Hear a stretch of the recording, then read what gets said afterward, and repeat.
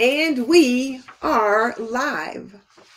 On tonight's episode of Traditional Homemaker Live Q&A, we are going to dive into what library resources are available for families.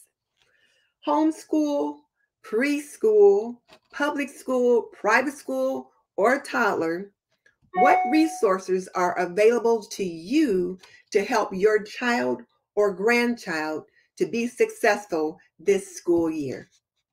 So I'm excited to introduce you to my friend and my librarian, Edith Helbert. But before I bring her on, if we're just meeting, I'm Denise Jordan, and I teach traditional homemaking for today's homemaker. So if that sounds like something you want to do, then click that subscribe button and double tap that little bell icon so you don't miss any upcoming content. And oh, let me not forget to say that tonight's sponsor is our very own apron boutique, Apron Diva. Pretty and practical, we believe that an apron is a homemaker's best accessory. And just for tonight, we have a 10, this is our featured apron, the Morgie, and it is 10% off if you use the code Morgie.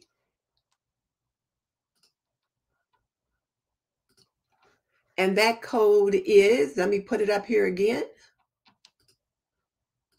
Morgie10. So if you use the code Morgie10 in the uh, checkout, You'll get 10% off, and you can see it hanging back there on the door. It is so cute. It says at the top, dogs are a girl's best friend. And then at the bottom, you've got all those little dogs. So let me just bring it up a little closer to show it to you again, and then we will jump into things. So, so there it is. Dogs are a girl's best friend. And look at all those cute little puppy dogs. Aren't they adorable? So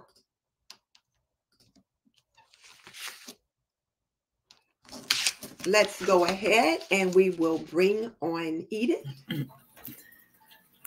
Hi, Denise. Hello, how are you? I am really well tonight. How are you? I am good. I am so glad to have you on. I really am. I'm just really glad to have you on.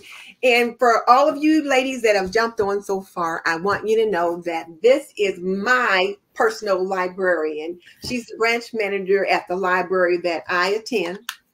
And so I'm really glad that she is there. And I wanted to get the opportunity to introduce her to all of you. So, ladies, say hello to Edith. Welcome her to the platform, please. And then while you guys are doing that, I see Leanne is on. Hey, Leanne. Hey, Angela. Hey, Patricia. Rachel Knight's always good to see you. And of course, Khadija at her healthy home.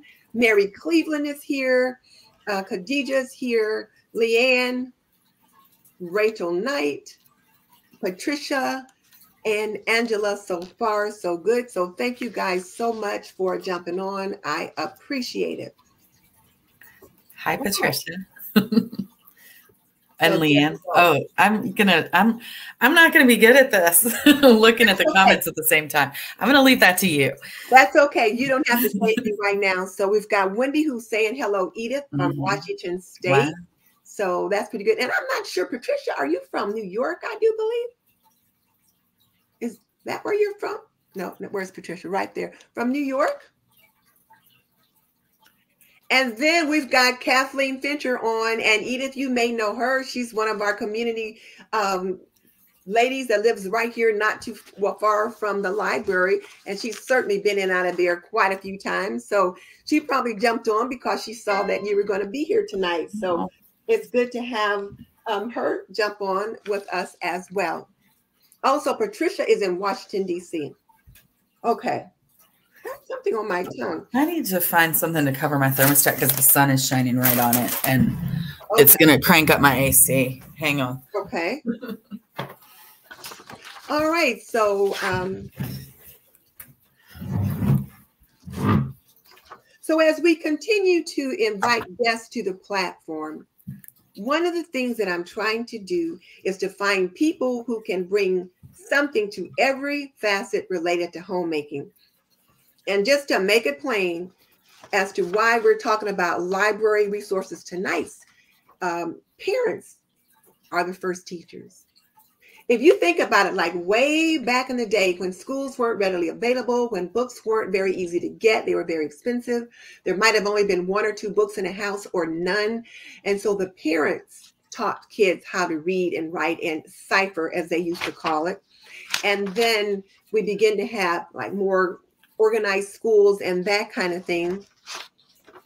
But even today, particularly with the COVID, the pandemic, and all that was going on, parents really were holding it down, helping the kids to kind of learn uh, outside of school because they had to help the kids learn virtually or whatever. So parents are still doing that. And now, of course, it is back to school time. And I know what you want to do is think about what can I do to help my child be successful at school? this year, especially since they've been out a little bit. There might be a little bit of delay. So, Edith, thank you so much for joining us tonight. I have been looking forward to this all week. I, I'm really happy to be here. Um, I have been, you, I think you know this, but I've been following your channel for a while. Wow. Um, and since back in the day when you had the makeup aisle. Um, so I'm really flattered that you asked me to be on. So. Okay. Well, you know, like she just pointed out, she's known me for a while. So, one of the things that I always say is that I believe that the most valuable card in my wallet, next to my health insurance card, is my library card because it opens up so many doors for me and my family. So, Edith, what do you say to that? Well, I I I want to back up for a second and just say that that that whole phrase about parents are the first teachers is something that we really um, hammer on. We we really talk about early literacy a lot and how when you're playing with your baby, when you're with your infant and you're you're talking and you're singing and you're writing. Mm-hmm. Well, you're not writing with a baby, but you're pointing out letters and you're play when you play together those things are building language skills and getting a child ready to read. So okay. just from the uh, like like it's it's so true. That nobody spends more time with the child than than the parents hopefully. And and the brain development from from birth to like a year is so they're just little sponges soaking it all up. So okay. the more you talk with your child the more you read with your child your baby um, and and so one of the things that librarians do a lot and and it's kind of the gold standard for for um, early literacy is is we we teach parents in their story times about how how to help build those skills and how to do more of the stuff they're already doing because so often I like that. Now let's back again. I want a little bit more about that. I wasn't planning to okay. talk about that quite this Okay, sorry. But so, but when you say parents are the five first teachers, that gets talk me excited. that because I think that's important about building those literacy language skills. So just go ahead and dive into that a little bit right now. Because I was just like, boom, I like it already. You want me to go go for it? Yeah. So so talk, read, write, sing, and play. Those are the five, those are the five things that parents are doing with their children anyway. But those are the things that build those those those vocabulary. Like the the language gap between a a child where nobody really talks to him much or all the interactions are no, don't do that. Um, and and a child who typically is in a more affluent household, maybe with you know more time to spend with one-on-one and and more of those skills. The, the language gap can be three million words by kindergarten. Oh, um, and so um, is it three or 30? It's lots, lots of words. I'm not a children's librarian. Okay. Um, but but I'm really passionate about making sure that the kids in our community have those resources. Um, okay. You know. So and I, so, yeah. I put it up on the screen and I had there's a typo there, but talk, read, write, sing, and play. So okay, that's important mm-hmm. to kind of keep in mind that that's kind of some things that's going to be going on there. Okay, so now it's back to school time. Let's start with what's available for public school and private school, for grade school or elementary school as it used to be known. Mm-hmm. And then you can even tackle in high school and middle school and high school in there as well. But let's start with elementary school first. Okay, what do I have here? Um, I've got this whole list of things. Okay, so we have story times and we have other programs at the library. Obviously, we have books. Mm-hmm. Um, everybody knows the library has books. um, and what people don't know is that your librarian can put together collections. So, are we? We're talking about public, like people who go out of the house for school right now, right? Right, right now, they're going to the public school. They could be going to a private school. Yep. So, so um, sometimes there's assignments that need extra help um, and the parent may not know how to do that but we have we have tutoring resources many libraries do our library subscribes to tutor.com um, which is a website that that we pay for access for all the card holders in in our How many libraries have that resource tutor.com um it is it is a it is not uncommon but it is kind of pricey we had to we had to, you know, write a justification and get get um, uh, access to it, and then and then we have to make sure that the community uses it. So part of our job is marketing it and making sure people know that we have it.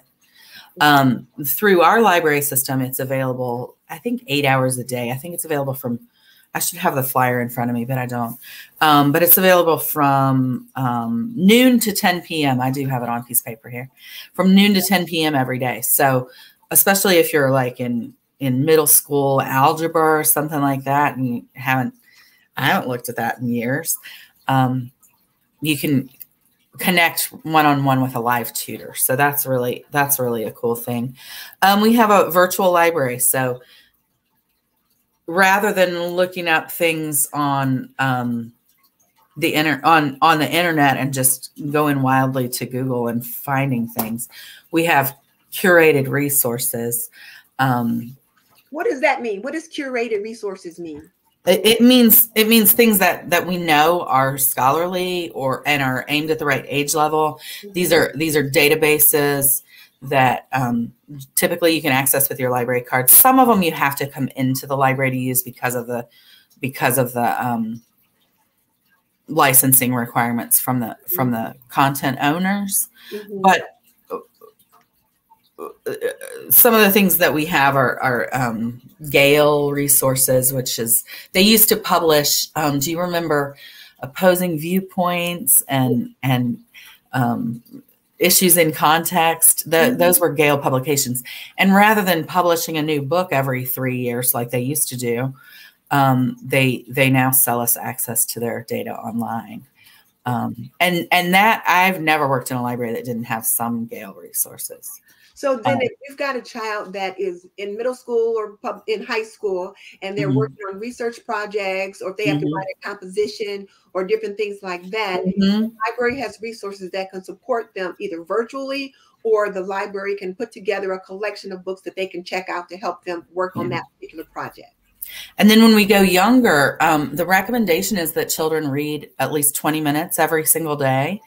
Um, either on their own or with someone. Mm-hmm. So so um, we can help librarians can help kids figure out what books they might be interested in. Mm-hmm. Um, storybooks, of course, but then there's like high interest nonfiction, which really appeals, especially to to elementary boys that that that don't like to read or are mm-hmm. reluctant readers, we call them.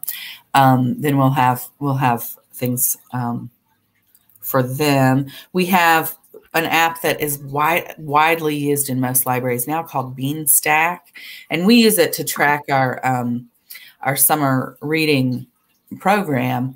But you can also use it to track to to time yourself while you're reading, so you can keep track, and then and then enter your page numbers so you can see how many pages you've read or how many how many books you've read. And that's one word there, Denise Beanstack. Oh, Beanstack. Yeah. Okay.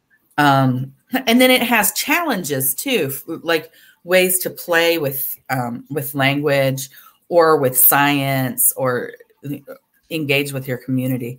Um, So I'm going to have to pause just for a moment. Hang on, my back door just opened. Okay. So as uh, she pauses for a second, I want you guys to hear that the tutor.com, if your library doesn't have that, you can put in a request possibly and ask them to try to get that resource in for you. So, what are you ladies thinking so far about what are some of the resources that you can that's available to help your child? She's really talked quite a bit about what's available for preschool as far as, you know, being uh, sing, write, laugh, play, that kind of thing. So, what are your thoughts so far? Let me hear from you. You guys are kind of quiet tonight. But I, I did like the thought when she said 20 minutes a day that your child should read. So either they're reading themselves, they're reading with you, or you're reading to them and they're sitting beside you, um, looking at the pictures while you read. So that's definitely going to help their language skills. And what do you think about the uh, amount of words that kids can learn by kindergarten? I just thought, wow, kids can know almost 3 million words by kindergarten. So, what are your thoughts on that? Okay. So there's that. Um, and you guys are quiet tonight. No comments?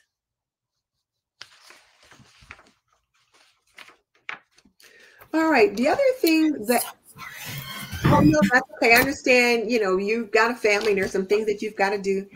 Hey Cal, it's good to have you on. We've got Edith Helbert, uh, a librarian who is on tonight and she's telling us about what's available uh, to uh, support your children and grandchildren uh, from a community perspective. So, okay.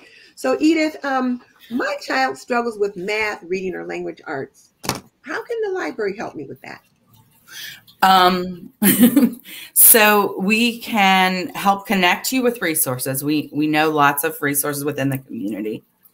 Um, we can provide space for them to meet with a tutor. Some libraries have tutors. Mm-hmm. Um, we can help identify um, book, reading, math, and something else. I remember. Where is that question?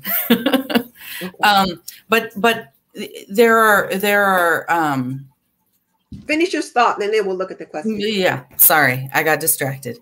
Um, uh, we can put together uh, we have some we have books that supplement curriculum. We at our library we don't collect curriculum books although some libraries do make that choice. Mm-hmm. but but we have lots of things that can go along with the curriculum um, extra resources. And then yeah uh, librarians are librarians are there ready to help you ready to look things up dig around and find the answers Okay. Well, Patricia said she has grandchildren in high school. Do you have a recommendation for reading? Yeah, whatever they want to read. Um, but um, I am really excited about. Um, I don't know. For I love reading teen books, mm-hmm. um, books, young adult literature, um, fiction especially. Um, so I have lots of recommendations, but I hate to just give one because I don't know your grandchildren and and lots of people read lots of different things. So my recommendation would be find out what they've read recently that they liked and then ask what what's sort of like that or dig in a little bit into what they liked about it. Was it was it the story? Was it the um, characters? Was it a fast paced kind of a thing? Action? Um, was it dark and moody and that's the style they like so so just anything for anybody in high school is is a little and when you ask that information then you can go to the librarian and say this is what they like this is what they just read and then they can pull some things that are similar mm-hmm. to that mm-hmm. okay there was another comment too and i think this is a good one and leanne said she had no idea that the library offers so many resources and one of the things you put on your notes is that the library was the best kept secret yeah. Well, and in fact, things about the best kept secret. Oh, I, I just noticed something in my notes that I wanted to make sure and say while we're still talking about figuring out reading for young younger kids, elementary school, is a lot of schools subscribe to these tests where they do AR or they do Lexile levels for leveled reading, mm-hmm. so that so that they know kids are reading stuff that they'll have success reading. Mhm. Um, and we have in our, at least in our library system, we have it in our catalog so that you can you can learn to search the catalog for those for those levels. Well, Um, but but that's that's a pretty new thing, um, and not every library system has that. But we have access to the websites where they would have that. What's it called again? There's two. There's AR, which stands for Accelerated Reader, and then there's Lexile. Accelerated Reader. And what's the other one? Lexile, L E X I L E. Okay. So I'm going to put that up there. And then um, hopefully I spelled it right. Okay, there we You go. did it. Looks Accelerated perfect. Reader and then Lexile. So you can go to your library and check with your local library about these kind of readers. Right. And and if your child's school subscribes to one or the one of these, it's usually not both. It's either Accelerated Reader or Lexile. The child will know their level because their teacher will have said, um, "I want you to read something between 2.6 and 3.8 or whatever." Mhm. That Okay. would be an AR number. So Okay. So And then that's good to know. yeah, yeah. Let's see. So let's see. Um, so Kathleen says she likes the idea of librarians putting together packs to help the children. so something that we have is custom collections and and we started we've done them for a long time but we called them teacher collections and when the pandemic hit we said why aren't we doing this for everybody um, so we have it on our website now and you can you can have a custom collection made with five to 25 and you choose them in five. And and and and you say books. books or other materials like you can do videos and stuff too. Um, or you can do a mixture of things and and say hey this is this is what i um, this is the topic we need can can you put together some books on this? And and we can do that. And then and then we even still have curbside pickup too. So if somebody's concerned about coming into the library this is something we wanted to add it before covid started but once the pandemic hit we were like all right now we get to do this So when we talk about curbside pickup, ladies and gentlemen, it's just like when you go to Kroger and you order your groceries and you drive up mm-hmm. and you bring them out. So curbside pickup, you can call ahead or you can go online. You can order the books that you want, and then when you drive up, you can get them picked up. And many libraries may have this resource now because of the pandemic. So check at mm-hmm. your local library. And one of the things that I've learned is that if your library doesn't have a resource, if you ask, they might be able to get it. Now they Yeah. may have to jump through a few hoops to get it, but you know, they don't know you want it or need it unless you ask. exactly and if you can get several people that don't know each other or that you know that that the librarians don't know know each other start start talking start talking about it at different branches Mhm. then it'll get on the radar quicker too okay. All right. So um Kathleen says Googling things can be overwhelming. So I think working with the librarian is a lot easier way to do it. You got another welcome from Southern California. And then Patricia, thanks you for the guidance on that. And looky here, I got a super chat. Thank you so much for the Oh. super chat. I appreciate it. You don't have children yet, but you plan to homeschool. Well, we're going to be talking about that in just a minute, but thank you for that super chat. I get it. So Wendy says their library subscribes to Hoopla and she loves it. yeah hoopla is really great um is? Hoopla is a resource um, that has audiobooks and ebooks, and um, I believe they have uh, movies and music. I think our library only subscribes to the music, not the movies. But I might be wrong about that. They might have just added that. But basically, you use your library card and you get a certain number of checkouts per month. My mom's library in Virginia gets three a month. We get 10 a month because we're better funded here in Indiana than they are in Virginia.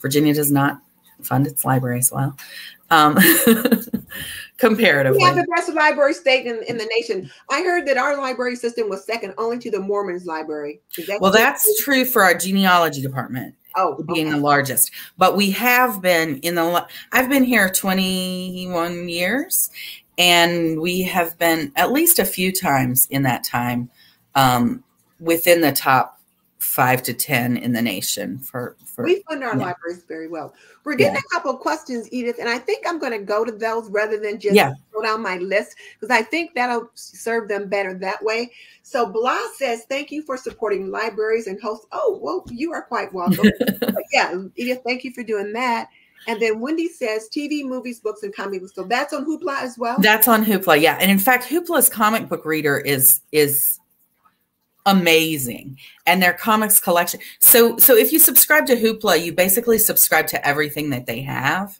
Mm-hmm. um their funding i could go on about this but i won't. But their their funding is is different. So so there are two um ebook audiobook readers or like like databases that that mm-hmm. that our library subscribes to yours and mine denise.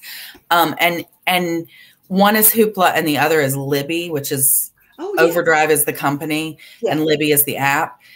With Libby, the library buys each copy of the title and and we pay for each thing that's in it. Um, and then people might check it out or might not. When when 30 people have checked it out, we have to buy another copy, or it might be a different number than that, but it was 30 for a while. Okay. Um, with Hoopla, if they have it in their if they have the licensing rights to it anybody any library in the country that subscribes to hoopla has access to that but they pay when they pay and the content owner gets paid when somebody downloads it okay. so it's a really interesting way and it gets into digital rights and all this kind of stuff that i kind of geek out about but okay um, well, we got a question about homeschooling. This is their first year on homeschooling, and that's something that's really big right now. It really started. Well, they, we've been homeschooling for a while, but then with the mm-hmm. pandemic, it was kind of like like Zoom. It things just kind of exploded, right. and many people are still making the decision to homeschool. And then right now, with the kerfluffle about whether or not to wear a mask and all of that, there's still a lot of discussion about that. So, how can we help support the homeschool parent? Let's talk yeah. about that. Yeah, and especially now when when we don't know what's happening this fall, we don't know whether there's going to be in person or not. Um, many libraries have programs to go. Um, I brought one of ours. This is a this is an all ages program called Cardboard Circuits. Mm-hmm. And what's in here is a piece of cardboard, some paper clips and I don't know if you can see that paper clips and brads and little metal things. Some LED lights. Whoops. My child has already used this one. Some LED lights and a battery with um, little wires. So the, and oh, and an instruction sheet mm-hmm. that tells you what you need and what what you have. And so what you need with this is a pencil or something to poke holes in the cardboard. And then they make us it teaches them to make a simple circuit and to play with lighting it up and figuring out how to light up two different lights on it and stuff like that. And we have these on all kinds of topics. There's but we we typically try to incorporate some STEAM, um, that's science, technology, engineering, arts, and math. Um, Wait a minute. I gotta, I gotta write that in there. Oops, sorry. S T E A M. Right. Science, technology, engineering, arts, and math. So then, if you're homeschooling your child and you need to work on some different pieces, that one little kit fits quite a few of those. It, yeah, yeah, it does. And and we have different I mean, a lot of them are pretty crafty. Um there was one my child did last week that had like weird this weird puffy clay in it and and told them to make a monster to put in their closet. I don't know. I didn't read that one, but but it can be imaginative and and the thing that they made was really interesting. So um so so because libraries aren't really able to do much programming. Kids can't be vaccinated yet. Um, we're not sure about social distancing. There are some libraries that are doing some, and we're we're hopefully going to pilot some things this fall, but we're we're a little nervous about it, right? So so these these um these to go programs have been really fun. So if um, I'm going to homeschool, then and then what? And and I've already purchased some curriculum, or mm-hmm. I can get curriculum from some libraries, not our library, but right. libraries will hold the curriculum. But I can get some things. Let's say I have to do a second grader and a fourth grader. Yeah. Kind of so in your curriculum, a lot of the curricula that I've seen other that families have have book lists in them, and a lot of times we'll have some of the books, and and even if we don't have the exact books that are listed in the curriculum, we'll have something similar on the same time. Some of the curricula are a little dated, so so we might not have the older books. We might have something newer on the same topic. Um, particularly science things go out of date pretty quickly. Um, let's see. Uh, English, language arts. Well, I mean, books, right? Yeah. I mean, we, we do have lots of nonfiction books on all, all kinds of topics. And and and while we don't have necessarily a workbook that a kid can work through, we'll have things that help explain the concepts, break them down if there's something that that a child's having particular trouble in. Mm-hmm. We can put our hands on on things on resources that can help. Okay, and like, then you- like your librarian is your best resource, right? right? Go to your librarian, tell them what you need, give them a little bit of time. Don't expect it like this because we don't know everything. we just know where to find it or at least where to look for it. I've got a, a magnet on my refrigerator that I got from the library. I know what it, says. says. If you absolutely have to know, ask a librarian. So I like what you said about that. So let's just say, and so I've got this fourth grader that I'm going to be doing homeschooling, and I've already purchased my curriculum. But I like when you said it earlier, I could come over there and I could ask you to curate a collection of reading books and math books and support items for fourth grade and just have all those at home at my house and I can have them checked out for three weeks. Right, right. And if nobody else is looking for them, you can renew them. Okay, so ladies yeah. and gents, remember that. Hey, Hard Hustle Mom, this lady has, I believe, six children. She just had a oh, new oh, wow. baby. And oh. uh, I'm not. Are you homeschooling, um, Candace? I can't remember that or not. That's her name, Candace. But let me know about that. Okay. So um, I think.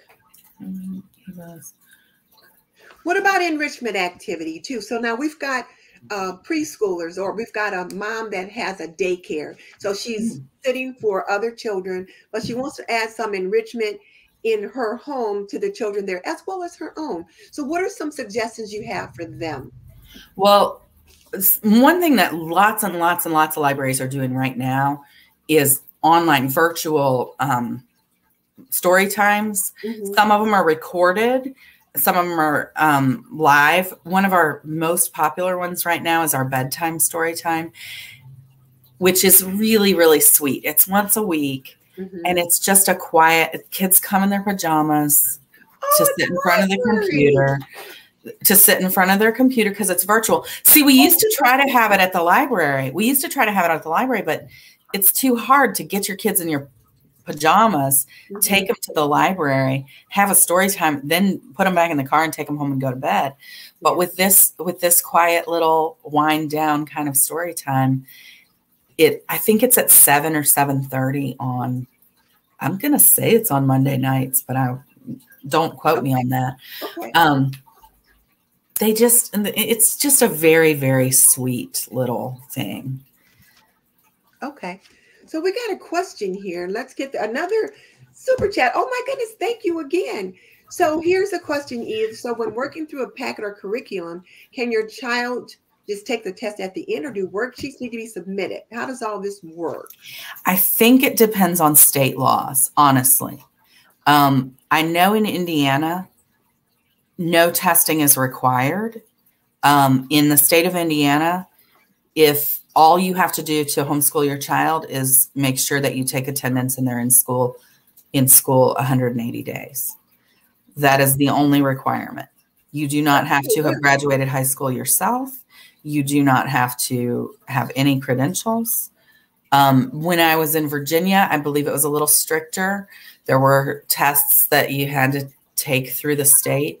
I, I would say just check with somebody. Um, you probably have a local homeschooling group. Mm-hmm. If you don't know who that is, check with the library because they probably know. Mm-hmm. Um, and um, find out from from other experienced homeschool moms if you're not connected with that community or if you don't like that community because i know there's different kinds of homeschoolers and some of them don't always uh, you know some of them are a little wacko or whatever in different ways from each other. Um, then then and i'm not calling anybody a wacko. I'm just I, am sorry. That that came out. That came out in a way that i did not intend for it to. Um, some of them are a little different and they just don't play yeah, well together. Exactly. So there's there's a there's a huge um, and long-standing um, Christian homeschooling tradition, and then there's also this free spirit unschooling tradition, and the two of them have some overlap, mm-hmm. but sometimes people are very strong in one facet or the other, and they don't. So that's where I was trying to go with that. Not call anybody a wacko. I'm sorry. I'm going to give you this example from one of my friends, and the ladies of these, they, they will know her. One of my, my friend Mary from Mary's Nest when she first moved to Texas, she's from New York, and then she moved to Texas. And um, her son uh, had some issues with, uh, I think, ADD, and she was talking to someone on the phone. They, they recommended her to call someone, and um, she was going to need to homeschool her child. And they told her, they gave her some information and told her something. And she said, What? You mean where? You mean I have to go there where they're carrying all kind of guns and stuff?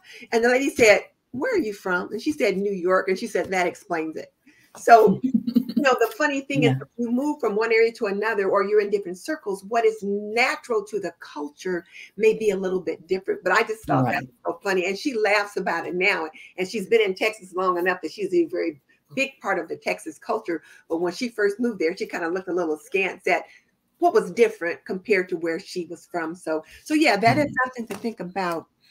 Um, yeah, but but what I was saying was, if you don't if you don't like your very close homeschooling you know if if you don't fit in that community you can probably find somebody in the state um, even even the even the less populated states probably have more than one homeschooling group that you can you can connect with your tribe. You can find your people okay. and figure out what those laws are but it, they probably are specific to your state. Well uh, khadijah has a, a, a point right here too about testing being needed in older grades and a diploma. She's in mm-hmm. tennessee. Mm-hmm. Because you said things do have to have to change. I was thinking back though to your nighttime, to your virtual bedtime. Oh yeah. I think that just sounds so sweet. I remember when my youngest one was I to the library and I would check out um, like albums like Peter and the Wolf or oh, yeah. like that. And then I would play that for him at night when he'd go to sleep. If I wasn't reading to him, I'd put that on and he'd go to sleep or uh, when my grandchildren, when I first got grandchildren, I would come to the library and they'd have these little kits with puppets and alligator puppets and stuff. Yeah. don't have those anymore, I don't think, but I would check those out every time they came came to visit. No, we don't have those anymore. I remember those. Those were the ones with um the the letters, right? So we had a kit for each letter of the alphabet, and then the A had an al- alligator in it, and it, you right, opened its mouth, and it had the A. And they would play with yeah. those over here. So the I think you were the only person that checked those out, Denise. They did not circulate well. well, my grandkids loved them. okay. Well, listen, let me pause for a second. You guys, if you have any questions for Edith, put them in the chat and then I'm going to pause for a second because we have something new that I wanted to do. Now, let me back up and get my notes because I wanted to um, share something that's um, we do. So, as you guys know, I have my online apron boutique, Apron Diva, and one of the things that we include in every order is an apron note. And this is what the note looks like. That's the front, and this is the back. And then we have about 14 different notes, and each one is different. And on the back, it says, the purpose of the apron notes are to remind each of you homemakers how special you really are. And each of you homemakers are very special. You do so much to support your families. And sometimes you're not always appreciated. So the apron note is meant to to serve as a message of encouragement so that you know that you are. We also want you to remember that homemaking is an art and a science, and you don't have to be married to be a homemaker. So, this apron note today says a clutter free home can create a peaceful heart. Now, each of the notes is meant to speak specifically to someone. And I know there's someone out there that needs that message that a clean and clutter free home can create a peaceful heart. And Edith, since you're our guest on the show tonight, you get to have this apron note. Mm-hmm. And then Mickey Blue Skies, who is my admin, just randomly picked a name from the chat, and you will get this apron note as well. So I'm going to uh, need you to put your um, email address. I mean, send me your um, address. And the person who won that, in addition to Ida, is let me see, Patricia Onakoya. Oh. So, Patricia, well, where is it? There you go. Patricia Onakoya is the winner. So, Patricia, send me your uh, address via email. Don't put it in the chat. Send it to me by email. And then um, you'll get your apron note. So isn't that kind of cool? So there's Linda, and she says the apron notes are encouraging and the packaging is so beautiful. It's a gift in itself. Oh, Linda, you must have received your apron. Oh, I'm so glad you got it and that you liked it. Okay, Edith. Now you we are really getting ahead here. Listen, look at this. Edith, do you use a paper planner? How do you keep yourself organized? That's coming up in another show, but go ahead. Um, I am not very organized, but I um I do use a paper planner a little bit, but mostly I use an online. I use um, Microsoft Outlook, which is part of my suite of stuff I have at work, and I it integrates with the other people at work. And then I have a separate calendar within my Outlook that I put personal appointments on so that I can drag. I have about 14 calendars within my calendar thing and I can toggle them on and off. So I could share that if you want to see. It looks like I can share a screen. Do yeah. you want me to do that? I'm sure. Because if all you right. have these calendars, you probably um, yeah. So let's see. It's oh, it's easiest with two monitors. Well, let me just try it. You have to click yeah. share screen I click share screen and then I'm gonna look for uh I'm gonna do my entire screen and we'll see if that works. And oh, it's not letting me. Okay. It it it it doesn't let me. But but um I would be happy to um share but Wendy, I'm not good at planning. I'm I, I keep myself organized by by um stressing out at every deadline and and thinking that I'm constantly being afraid that I'm going to forget something and you know trying not to burst into tears. okay. I'm trying to get this lady on to talk to us about how to use your planner. First oh, I'll be sure to watch that. Yeah. First of all, Kimmy, uh, Kimmy uh, from She's in Her Apron is coming on in, I think it's September, and she's just launched a new planner, and she's going to talk about how she's using that for homemaking. I'll put the dates up so that you guys know when she's coming on. But I'm also trying to get um, at home with Quita on this woman is amazing. She does so much with her planner. And I thought, my ladies need to hear this, but I haven't been able to, to hear back from her yet, though. So we'll see. Mm-hmm. But I do have Kimmy from She's in Her Apron scheduled with her new planner. So that's happening. We do know that. And then, uh, Khadija, you're getting a note from Tammy that's saying she's watched you teach your children, so you're going to be a great homeschool mom. So there's that. She's got two cute little baby dolls. Khadija does. Mm-hmm. Uh, let's see. Uh, so, so oh, go ahead. Sorry. Got homeschool stuff. Can I get back on homeschool? Yes, we better I, get. I just looked at my notes. Rabbit hole. Get back on task. I just I just looked at my notes and I realized I have written down private quiet rooms and public learning spaces. So the library has space. Most libraries, at least at least not. I can't speak to anybody else being open or closed during COVID because that's but our library is currently open. People can walk in, people can reserve spaces. Our meeting rooms are at at social distance capacity, but our study rooms, because they're really only big enough for four to six people, are available for. So so if your house, like the you just burned breakfast and you're you need to get out of the house because you need to teach these kids something.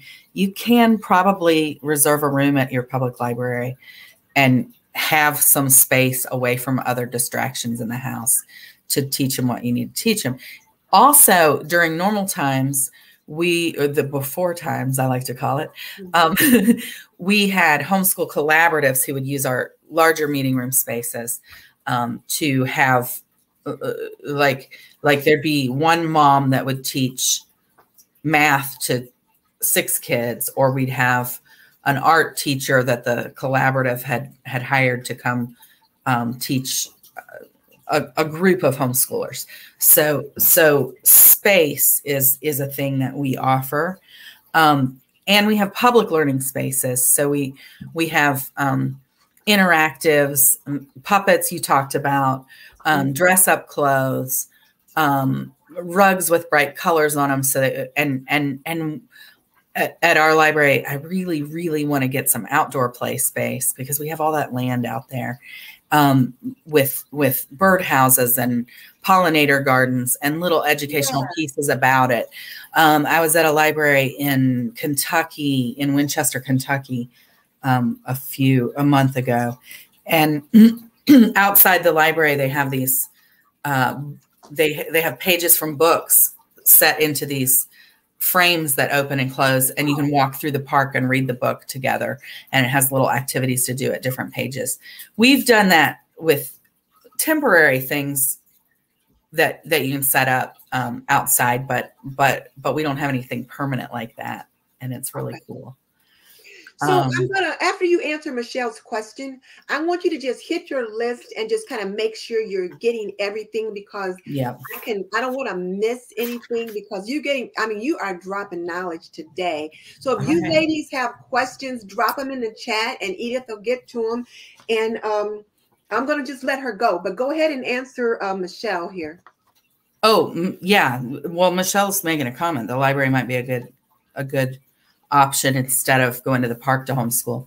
Yeah, libraries are great. Museums are great. Um, but libraries are free. mm-hmm. um, which I guess I didn't point that out, but but I mean the American public library system is unique in the world. Most places, if you want to be part of the library, you have to pay to be part of it. And we do pay for our libraries. We do pay through our taxes. That's how libraries are supported. Um, but then it's free. Mm-hmm. so, yeah. And it's generally property taxes. So, um, it's important to know that because, because, um, because there are a lot of, um, people that really that really don't want to pay property taxes don't think they should have to pay property taxes and that's not a conversation we're going to have about politics but but to me, it's really important to have these shared resources within a community. Okay. So. One quick question too is let's say I'm going I'm I'm this parent that wants to go back to school or I'm going back mm. to school. I'm starting college. I'm a mature woman now. My kids are gone. It's my time. Yeah. I'm going back to college and maybe it's virtual uh, or maybe I'm going in person. How can you support me? Because I saw something called Udemy on your list and Oh yeah. So what is that? It's it's a resource that um, it's a it's another one of these paid databases um, that the library subscribes to, Udemy. and it's called UDEMY Udemy or Udemy. I don't even know how you're supposed to say it, but I went on there and took some. Oh, so about a year and a half ago, my um, assistant manager retired, and I hired um, a new assistant manager who is a lovely person, but she was fresh out of library school and she had not been a manager yet. And so um, we went on, I'm going to call it Udemy. I don't know how you're supposed to say. It. So we went on Udemy and and found some courses. I found some courses on mentoring and how to be a good mentor. She found some courses on managing and how to learn to be a better manager and and what the role was so that we could have that additional um, development of our professional, you know, life so that we could have a healthy relation, professional working relationship. Um, and it was really, it was really great. And um, there's also been, there's my child running through the bottom of the screen. Um, you're all right. Um, the, uh, they, it has guitar lessons, it has Spanish lessons, it has um, Microsoft courses if you want to be a good lynda.com is a good one too. And I think it's L-Y-N-D-A actually. Oh, okay. We used to have that one. We were not able to afford it anymore. Um, it was very expensive and it wasn't getting used a whole lot. Um, so we replaced it with Udemy. Um, but it has some very similar things. Yeah, that's how you spell it, lynda.com. Um, and, and if your library doesn't have these particular resources, they probably have another subscription to something that teaches adult education classes. Ours has budgeting. I had I had a teenager that was staying with me um, take budgeting workshops on there um, for a very beginner um, and learning to manage money. Um, I have taken guitar lessons on there. so it's a wide variety of things. I think you need to address this one. Oh, that's okay. Rachel. Rachel says, I've been meaning to check out the library about a mile from my home. I walk or jog by it weekly, but my toddler is loud as all be. Well, you know what? Toddlers are loud. And what learning looks like in a library is sometimes loud. And I can't speak I to libraries were yeah, well, we try to balance, right? We try to have quiet spaces, mm-hmm. but we also have active learning spaces. Um, and sometimes that's loud. Story time is not a quiet endeavor. At my library, we don't have a separate story time room. If you're there during story time, you might not be able to concentrate on the computers. And I'm sorry, but it's only an hour once a week. Computers. I forgot to talk about that. But oh, yeah. that, um, I, I think I, I just wanted to point out, though, that, that on your notes, you had something about that you want the people to come and actively use the library and enjoy it. And so that they don't have to like just be there and be quiet. Did I say that? I mean, I do. Yeah. Oh, here, yeah, yeah. Librarians don't want you to sit around. Yeah, we just want to help people. We're we're here, we're in it because we like people, and we're in it because we we like to help people get access to what they need. Mm-hmm. Um, our library's mission is lifelong learning and discovery.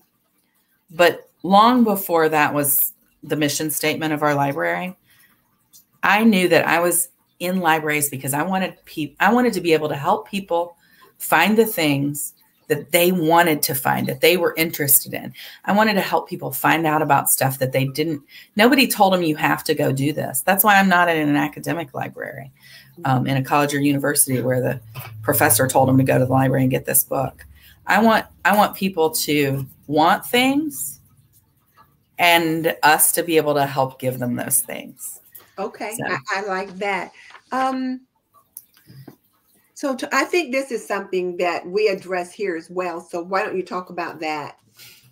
Yeah. So so libraries are paid for by taxes and and sometimes you can't get everything at them. So that sounds like a hard a hard situation.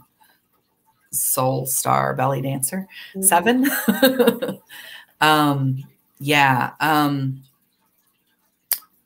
it, it might be a library that you're not able to go inside of because of COVID, or maybe they're not having programs right now. Our library system here in our county is just for people who pay taxes within our county. And that's that's property taxes because you own or property taxes because you rent a place that somebody owns or you own property here even if you live outside of the county. So those are the only ways that you can have a free library card in our county.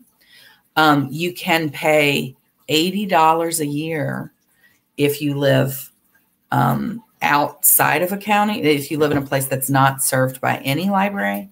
But our state also has a, a program called PLAC. Indiana has the Public Library Access Card.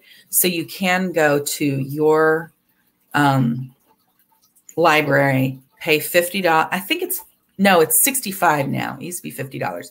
I think it's $65, but it's set by the state library. So I can't swear that that's what it is in 2021. Um, and you pay that library for a PLAC card, and then you um, can take that to our library and get a card within our system. Unfortunately, because of the way um, licensing agreements with with our databases are, often you can't use our databases outside of or, uh, like in your home if you have a PLAC card or a subscription card. Um, just because we we are not allowed to give access unless it's to our own residents. So there's lots of little laws about it, but yeah. Um, now my mom's my mom in Virginia can use her county and all of the neighboring counties because they have reciprocal borrowing agreements. Um, so, and Wendy said they can use yeah. city library and county as well. So let's hit on computers. So we have most library i don't i don't think there's any libraries in the country anymore that don't have at least a few computers for the that the public can come in and use um, for often for set periods of time and then um, when uh, uh, this is another thing we added during the pandemic although it's on hiatus right now because it's a verizon program um, we rented, we we bought hotspots and we loan those out. We have 30 for the county, so it's not very many. It's and like you check them out for a week at a time. That, they're like about this big and they can yeah, they're a little smaller than that. I think they're they're more like about, yeah. but yeah, then you can connect some devices to them. Um, uh, they recalled them for some reason, and we haven't been able to get it back. But um, they're they they tell us they're coming. they're coming back. Um, and that was a really popular service. Um, people have technology, but they don't necessarily always have Wi-Fi mm-hmm. um, or or access. Okay. And then Patricia's talking about summer programs. 10 students in the library while social distancing wearing masks. Oh, that's great. Um, we were not able to have, um, well, we could have people come into the library, but we weren't able to do um, any programs inside. What we had at our library was was a lot of outdoor guided programs with staff, and then some ins, uh, inside self-directed programs. So people could come in, and we had we had a giant sticker wall where you could um, they it's called stick together I think stick it together or something like that. Stick together. Stick together. Um, and it's it's it's a giant poster, and it has little squares with with letters in it, mm-hmm. and then it's like sticker by color. I mean sticker by sticker by letter, and you have different colors that and a key. So it's teaching some dexterity for the little ones and and and matching patterns. It's pretty cool. Um, so we had those up on the window. We had um, paper chains where you'd write gratitudes and then add it to the community chain.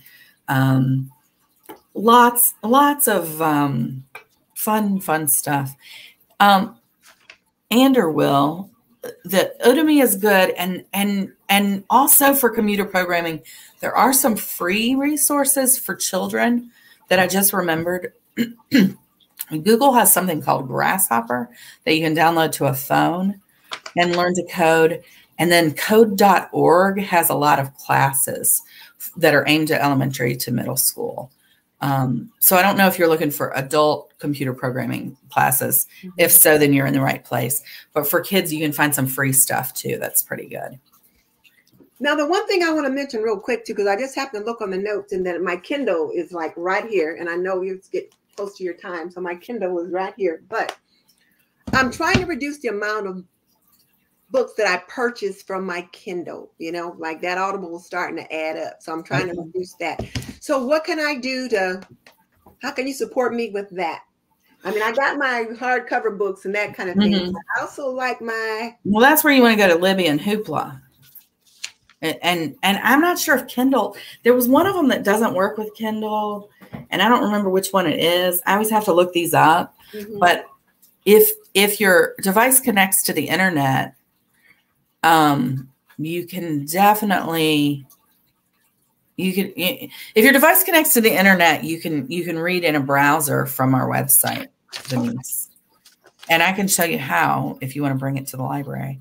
We oh, can oh i know in how. fact three day, i have a i have an intern right now and three days a week she's available from noon to three to sit down with you and your technology um, with masks on in a study room and and um, help you use your device better so each ordinary moment, I don't know your name, hon. I'm sorry, but each ordinary moment, she says they pay for their library, but it's only twenty dollars a year. That's not bad at all. Yeah.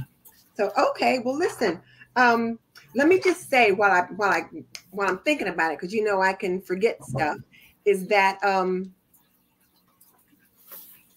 is that I am running a poll to select a new name for this show. Right now I call it Traditional Homemakers Live Q&A but I'm running a poll. It's on my community tabs. I want everybody to go over there and vote for what they think the um, what what they might like for the new name to be. So be sure and do that. And uh, Patricia, don't forget to email me your um, address so I can mail you your apron note. And Edith, I got to get you your April your apron note as well. But Edith, let's do the lightning round. Okay? All right, let's do it. All right. So Edith, Bath or shower? Shower. Coffee or tea? Coffee. Downton Abbey or The Crown? Downton Abbey. Lemonade or iced tea? Um, it depends on whether it's sweet tea or not. It's up to you. Actually, no. Just mix them together. I'll have an Arnold Palmer. Okay. Game of Thrones or Big Brother? Uh, Game of Thrones. Cook or carry out? Uh, it depends on how many hours I worked and how much driving I had to do with my middle schooler. Okay. Read a book or listen to it on Kindle. Uh, read. For me, it's usually read. Me too, but sometimes. And then the last one, romance or murder mystery. Romance. But especially if there's those intriguing ones that have a little murder mystery in them. I like okay. those. All right. Well, thank you, Edith. I like that. Well, I've got some happy mail. Let me share the happy mail. And then also, I want to remind everybody that um, the Morgie, and let me share the screen again to do that. But let me um, let you know that the Morgie is our featured apron this week. So for those of you that are on the show that watch the show, it is 10% off this week only. Next week, we'll have a different apron that's featured. And this one is Dogs Are Girl's Best Friend. There's our cute little puppy dogs. So if you're interested, um, be sure and check that out. Can I ask you a quick question about those aprons? Sure. Uh, so um, my best friend is a dog lover, and her birthday's in September. Mm-hmm. If I order it, is it in stock now, or does it have to get? Um, okay. I Everything I have on this that I have up there is in stock right now. And I've got a few that I just sold out like yesterday, but they're on order. But if you want the Morgie, I've got that right now. And yeah, I'm gonna be buying that from free, you. So don't you know, bring it to the library. okay. but okay, and then so here's the happy mail, and um, one of them was an email that I got. Let me find it. And this one was um, in reference to my last video. And she says, Hello, Denise. My name is Cindy. I recently found your channel and I've watched your videos, particularly those related to the Fly Lady cleaning system. In the past, I've watched a few others with the Fly Lady videos, and I have to say they left me confused, especially when it came to the zones. But after watching me explain the system, she felt things were a bit clearer. Now, she had a bunch of questions about it, which I'm going to respond to her questions by email. But I think I'm also going to make a video about it because I figure if she's confused, there's other people confused as well. I got a very nice little thank you card. And this is from, oh, this one, I don't know who it's from, but it's from Bear, Delaware. And they just say, hello, Denise. I just wanted to send you a note of thanks. I found your channel in 2018 during a really tough time in my life. I was losing my mother, and your channel saved my life. Oh, that is so sweet. You became my friend. I am so amazed and impressed by you. I have been married 31 years and your channel speaks to me. So, on so many levels, keep it up. I will keep watching. Your content is so necessary. YouTube fan. And I've got a little sticker that just says, You are loved. That is so nice. I don't get much mail, so when I do, I like to share it. And this is just so sweet. And then I got one from the Smiths. And look, isn't that cute? She says, thank you. And she won um, the Christmas, oh, she won the Christmas apron from Christmas in July. And so she was just saying she was really excited to win it. And she's been wearing it already while she's making different things. So, so there's that. So that's my happy mail. So it was good to get that. And I believe so. Your question of the day, ladies and gents, is what's your takeaway? Tell me your aha moment and how you plan to make using the library a regular occurrence in your life and how you plan to use the library to support your, your child. What can you do to use the library to support your child? drop it in the chat. Let let Edith know that she's been helpful to you. So, how do you plan to use the library to support your child? So Epiphany said she enjoyed encyclopedia sets and coffee table books. I got a bunch of coffee table books. I don't have an encyclopedia set anymore. I gave away most of the pieces, but I did keep the annuals. But yeah, I miss some of that old fashioned stuff too. But um, What's your aha moment? Drop them in the chat so Edith will know. And then if you're on the replay, put it in the comment section. She might stop by and check it out later.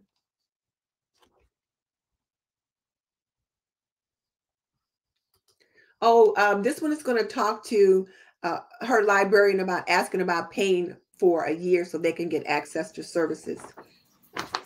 Be sure to visit our sponsor, Apron Diva. The link is in the description box and um, check out my last video on zone two cleaning.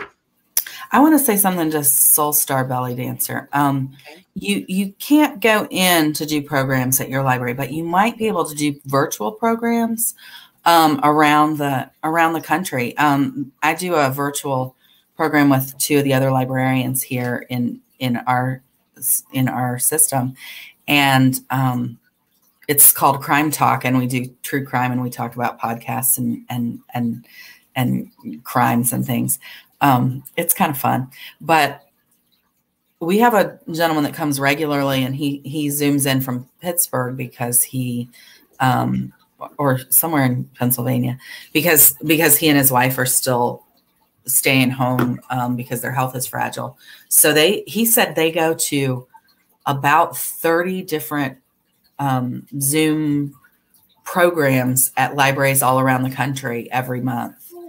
Um, and so, and so you might, you might, I mean, not everybody can can do that, but clearly you have internet access because you're here with Denise, and you might be able to find um, some programs that'll work for you or your or or your family um, if you just look a little further afield um, and see what there is. If you have time to do some research, or email your email us. I I kind of feel like I should put my email in here, except that um, I asked about speaking on behalf of the library, and the community engagement people told me no, just go on as a friend of your.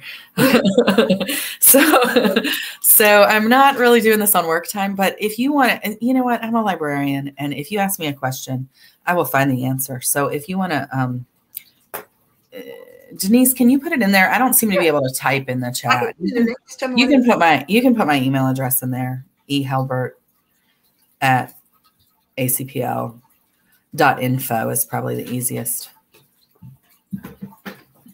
E Helbert. Epiphany Profit Adult Literacy is something libraries address. Yeah, that's perfect, Denise. Um, it is something that libraries address. We don't do as as much as we used to, but I feel like we're coming back around to it. One of the big things we do right now is um, more job readiness and job skills, soft skills type training. Um, we have we have um, librarians who work on who work in collaboration with our with our workforce development um, and and do programs on on how to do interviews or how to earn learn learn different skills.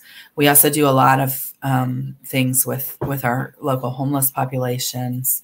Um, I'm on a team right now that's working on how to help people who have been incarcerated who, who or who are currently incarcerated but who are members of our community and how to um, how to better serve those those patrons of our library. So um, so rachel says she's going to look up the library near her and see what they offer and might even go in with her two-year-old little son Okay. Because, yeah, Rachel, libraries are, it's good to start taking them when they're two. So they love it and enjoy it. And the books mm-hmm. become something that's just natural to them. So there's that. And um, let's see. Patricia said she has two pages of notes. She thought this was a super live chat. So thank you. And Linda says her our youngest was about two when she discovered the local library. Very enriching for the entire family. So and Epiphany says she appreciates both of us. So, Edith, I appreciate so much you coming on tonight, just sharing all your knowledge. I really do. Well, I'm really glad that you have such a such a great community. You've built this these these very nice women who and probably men who come in who come in and and and and are willing to make themselves vulnerable and ask these questions because sometimes we think everybody knows Mm-hmm. Everybody knows what a library is. but we don't all know what the library has no. to offer. Yeah. So, and one like of the that. things I've been on about for a couple of years is people think the library is just about kids and books, and we're so much more than that. We really do try to cover the whole lifespan. Um, and and and it's not just books; it's information, it's mm-hmm. it's it's knowledge. Um, one of my favorite quotes um, it came from a, a study in the mid 2000s. I don't remember exactly what year it was. The Harwood Institute did this report on the American public libraries. And, and the quote that I love is an educated community, not higher circulation numbers is the goal. So I had that posted up on my on my above my desk for a long time. I took it down and put something else up because but but yeah, it's it's Okay. Yeah. Well, good. Well, Edith, I'm going to let you go. I know your child's right. probably tired of having to be hidden, but um, I'm going to wrap up. I'll say goodbye and then I'll come back to you. So don't leave. You can just okay. click off, or I mean, like just stay. I'm going to click you off the screen, but yeah, so I'm going to click you off. Good, because I don't know how to do that. Okay, so wasn't she wonderful? I was just so happy to have her. And I hope you guys got some good out of that. So uh, Candace said that all the lives are helpful. I'm really glad that you're enjoying it, Candace. And you know, I'm sure there's some support for moms with new babies. And then um, uh, Michelle has a couple notes there for um, uh, Rachel as far as what to do with her her little one as well. But so again, you guys, I'm going to wrap this up for you guys. I'll see you next time. Be sure and click on um, my um, latest video, which was zone two cleaning, and I've got more of that coming. And Michelle's going to be on in a couple of weeks, so it'll be good to have her on as well. Be sure to visit our sponsor, Apron Diva. Don't forget the Morgie, which you can see back there, is 10% off tonight. And I will see you guys next time. And thanks for the super chat so much. I appreciate it. Bye, ladies and gents.